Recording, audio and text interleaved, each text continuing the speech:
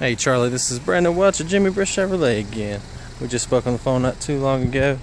Jeff told me to send you a video on this one, said he had good news about it. So what I'm to do is send you this. It is our 13, but it is a Captiva, same body style. It is a darker color. I know she, you know, she wanted the darker red or black.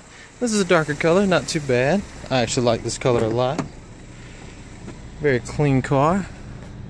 A lot of room. Everything works perfectly.